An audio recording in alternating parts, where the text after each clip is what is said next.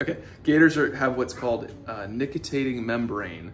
So it's their gator goggles. They can see one, two. So the second layer, one, and then two, helps them see underwater and hunt underwater. So. That's bad.